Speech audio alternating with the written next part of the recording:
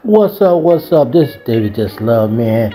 Oh, yeah, I am back at you again, straight up with this stuff. You know what I mean? Salute to all you guys out there. Well, you know how I go.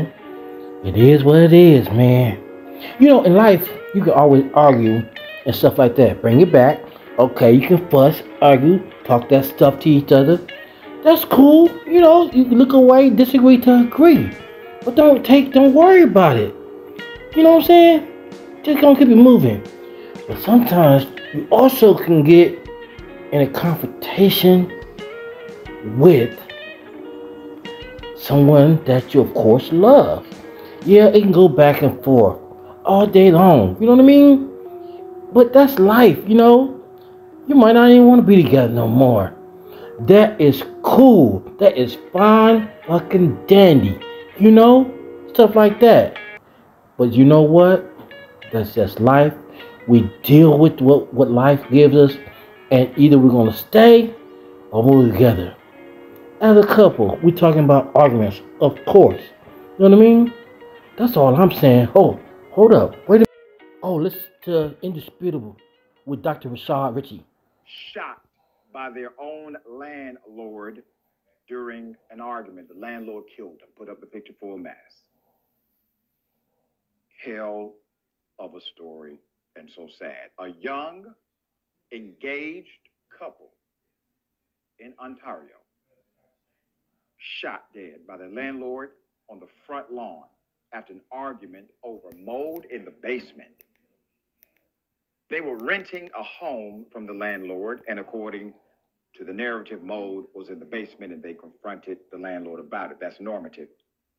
Carissa McDonald, 27 years of age, was an educational assistant at a local school.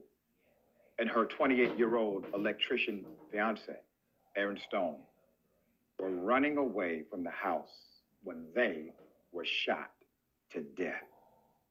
The couple rented the basement of a home belonging to 57 year old Terry Gerald Brecott, who lived upstairs. The couple got into a dispute with the landlord stemming from a disagreement surrounding issues within the house, according to Detective Steve Bereziuk of Hamilton Police Major Crime. Let's put up the picture of the crime scene. Uh, according to the reports, there was gunfire. Authorities were called. They went to the Stoney Creek district of Hamilton where the home is located around 5.40 p.m. Saturday. According to the sergeant, neither the couple nor the landlord were known to the police, which makes what happened a little bit more shocking, according to them. However, Tony Greenlee, a next door neighbor, described the landlord as, and I quote, bad news, noting how he would often stand on top of his roof watching them. The harassment saw Greenlee build a carport to block his view. It's like we couldn't breathe in our own backyard, Greenlee told CBC News. It was, uh, I was terrified, Joanne Greenlee, Tony's wife, added, as she recalled the shooting. They could have, that could have been us. He could have gotten mad enough to actually get them uh, talking about shotguns out. I feel sorry for the young people, so young. A search of the home led to recovery of multiple legal weapons. Once again, this is in Canada. Eventually, after shooting the couple, the landlord decided to barricade himself inside of the home with weapons that he legally held. The detective said the police spent a considerable amount of time negotiating for a peaceful resolution. But he opened fire on them. This was around 10 p.m. At that point, he was shot dead. The standoff ended in an exchange of gunfire with police according to Special Investigations Unit. Once again, another uh, de- devaluation of life. There's no value to a person's life beyond how you feel about them inside of an argument. I mean, you could have just evicted them. So now you have uh, the landlord uh, who decided to basically commit suicide when he shot at the police. And you have um, two promising active, productive, and loving individuals who are dead because they complain about mold.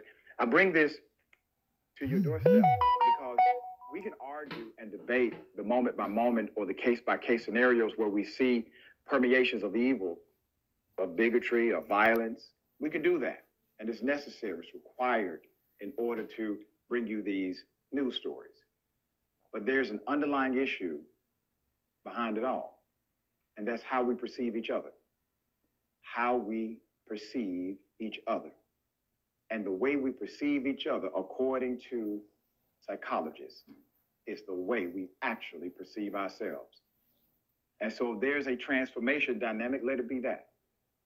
That in order to make this world a better place for our children, our grandchildren, we have to start from inside, including me. Now you heard what he said. Now hold on, wait a wait a minute now. Hey, he got killed over a mold situation at the house because they complained they got killed over a mold situation. Now earlier, they could have, you know, resolved this, but no, this what happened. Hey, look, check this out. This day just love, like, subscribe, push the notification button. Hey, I'm out.